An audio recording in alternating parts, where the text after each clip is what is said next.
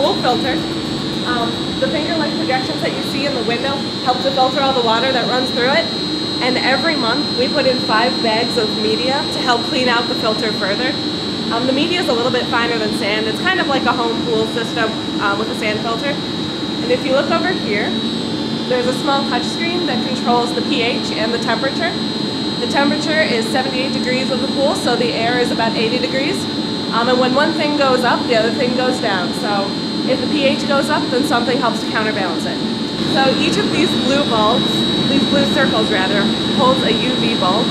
And when the water circulates through this, the UV rays hit the water and it helps to kill some of the bacteria so we don't have to use so much chlorine.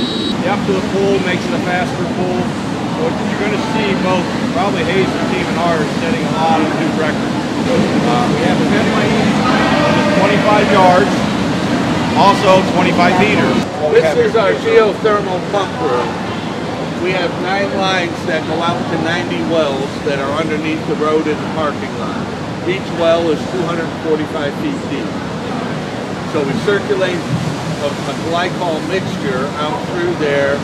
We can either put heat into the ground if we're cooling or we take heat out of the ground if we're heating. Circulate water through there. We bring back 55 degree water and then we distribute it through the building. We have heat pumps that provide all the heating and cooling for the locker rooms, offices, lobbies, all those areas. And we also circulate the groundwater or the, the return water up through the air handler to do preheating for for the pool area. There will be opportunities,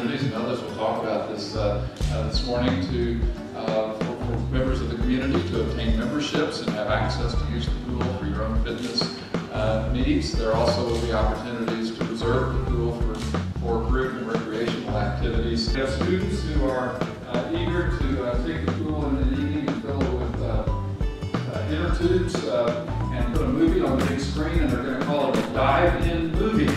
This will be the home for our varsity uh, back swimming and diving programs for both men and women. Our physical education department will use the facility coursework related uh, to uh, water sports and water activities.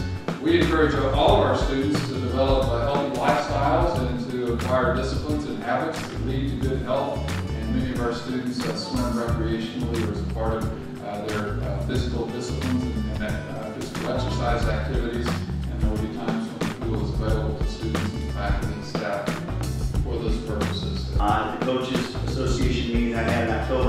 Everybody wants to come to Delaware to swim the new Ohio Wesleyan University facilities. We're really excited to swim pool. I know, like, I've been swimming in Piper since I was probably like nine or ten. It's sad to see it go because it's just kind of, it's like home. It's like the pool room that I have. But